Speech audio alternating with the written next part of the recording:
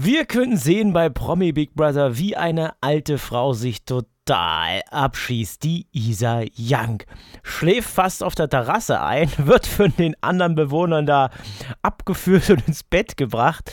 Äh, und äh, sie, also wirklich voll wie so eine Natter und was sie da einen Käse labert und wie sie es dann am anderen Tag abstreitet.